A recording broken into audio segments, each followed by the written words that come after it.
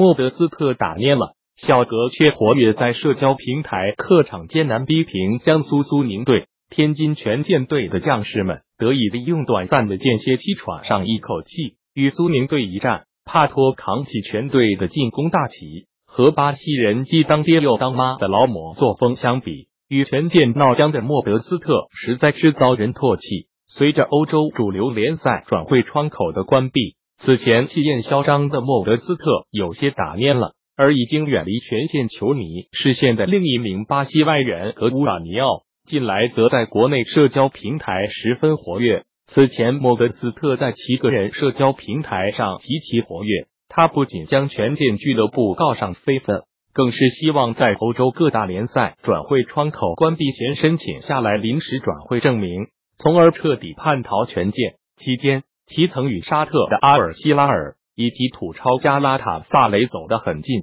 但都因为与权健存在合同纠纷。最终未能如愿跳槽。不久前，土耳其媒体曾爆料称，权健方面给莫德斯特前在下家均发送了相关律师函，告诉他们签下莫德斯特需要承担的法律风险，其中就包含了一点六亿元赔偿金。如此可见，天津权健算是用一点六亿元赔偿金将莫德斯特成功制服了，避免让他免费离队。加之如今法甲、西甲、德甲。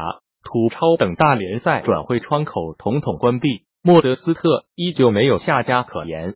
法国人如今的名声已经臭遍欧陆，而他口口声声说的权健许诺给他的奖金合同，他也拿不出来。在自己的社交平台上，其大有任总之势。这边权健与莫德斯特的纠纷，静待 FIFA 最后的裁决。而权健队的另一位外援格乌尔尼奥则频繁活跃。在国内社交媒体上，此前巴西媒体曾报道称，格乌尔尼奥年底将回归权健，这对于连失两名外援的权健而言，无疑是一个补充。不过，小格近两个赛季表现乏善可陈，即便回到权健，恐怕也难获重用。撰文刘恒昌右下点个赞，感谢您。观看中间打个赏，多少不足等。